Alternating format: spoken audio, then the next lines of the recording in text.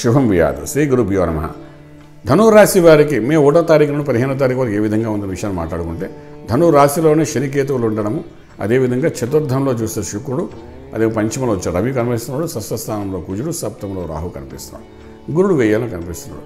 చదివిన చదువుకు సంబంధించిన ప్రయత్నాలు ఏవి సఫలీకృతం అవ్వవాడికి కానీ ఈ రాశిలో ఉన్న శనికేతువులు సప్తమంలో రాహు యొక్క ప్రభావం ఉన్న ఈ ప్రభావం అనేది కనీసం వీళ్ళకి ఫిబ్రవరి వరకు ఖచ్చితంగా ఉంటుంది.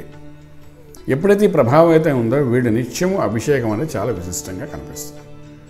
ఈ విషయం మరీ మరీ నేను ఎందుకు చెప్తున్నానంటే ఇక ఒకడు తందానా అంటే ఇంకోటి తాని తందానా అనేటట్టుగా ఏంటంటే ఈ సప్తంలో ఉన్న రాహు లగ్నం శనికేతులు ఇద్దరు కలిసి ఒక గా- గేమ్ ఆడదాం అనుకుంటే ఇక్కడ చూస్తుంటే ఆరో ఇంట్లో కుజుడు ఉన్నాడు.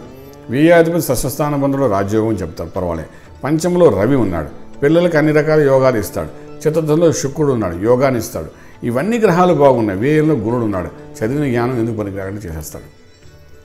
సో ఏంటి మన ప్లానింగ్ అనేది ఇంప్లిమెంట్ చేసే దాంట్లో దగ్గర మనకి ఎంతో మిస్ఫైర్లు అవుతుంటూ ఉంటాయి. మిస్ఫైర్ అయ్యి మానసికంగా శారీరకంగా చాలా ఇబ్బంది పెట్టేస్తుంటాడు.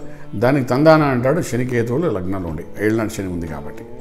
అంచేత అభిషేక ప్రియం చేస్తున్న అభిషేకం అంటే ఐశ్వర్యానికి అంతటి విశ్వంలో ఉన్న ఐశ్వర్యం అంతా మనకి ఇచ్చేవాడు ఈశ్వరుడు కాబట్టి ఈశ్వరాభిషేకం చేయడం అనేది చాలా విశిష్టమైన స్థితి.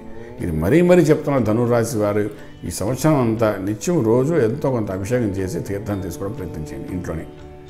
ఓం నమ శివాయ శివ పంచాక్షి మహామంత్రం కానీ నమ్మకం కానీ చెమ్మకం కానీ రుద్రం కానీ ఏది చేతనైతే దాంతో చక్కగా అభిషేకం చేసుకుని తీర్థం తీసుకోవడం ప్రయత్నించండి మీకు తెలియదు కానీ చేప కింద నీళ్ళలాగా ఈ అభిషేకం చేసిన తీర్థం తీసుకుంటే మీకు తెలియకుండా కష్టకాల సునాయాసంగా దాటడానికి అవకాశం ఉంటుంది.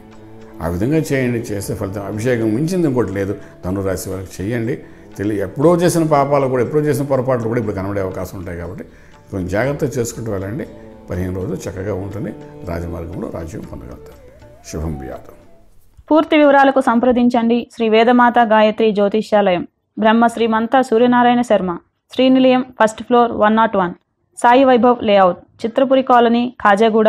Delhi public school పక్కన Nanakramguda Hyderabad five lakhs eight. Phone numbers triple eight triple five nine one four seven. triple eight triple five nine one four eight nine seven zero triple four seven double zero one nine seven zero triple four seven double zero two.